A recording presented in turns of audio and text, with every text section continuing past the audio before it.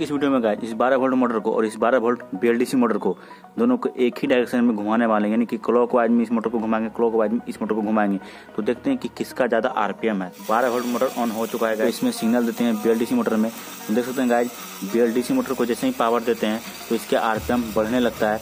तो इसको RPM highest करते हैं और लेके जाते हैं हाई आरपीएम तक।